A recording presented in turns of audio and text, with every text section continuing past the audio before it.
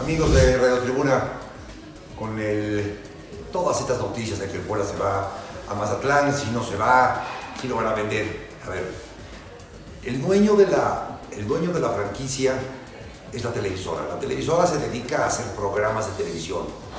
Por, azares del destino porque así le, le convenía a la televisora en algún momento, se quedó con la franquicia del Puebla para mantenerla, no para mantener un equipo, para mantener una programación. Sí veo difícil, sí, sí veo difícil, o bueno, veo imposible que en este diciembre se vaya.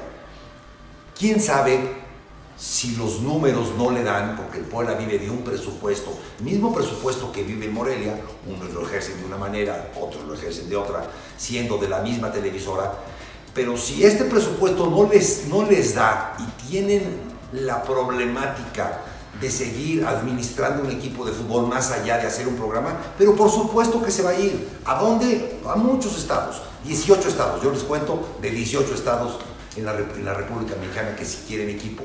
Nos tenemos que preocupar, los aficionados del pueblo, nos tenemos que preocupar, no si el equipo se va a ir, sino qué se va a hacer a partir de este próximo jueves que el equipo se reúne para poder sacar la próxima temporada.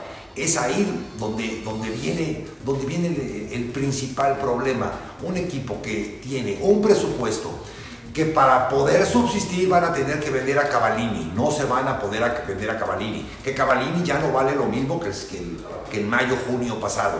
Porque ese dinero no es que lo necesiten para refuerzos, lo necesitan para mantener la nómina del equipo, que una nómina de primera división es cara.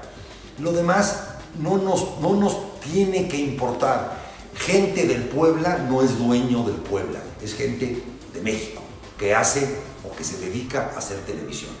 Gracias.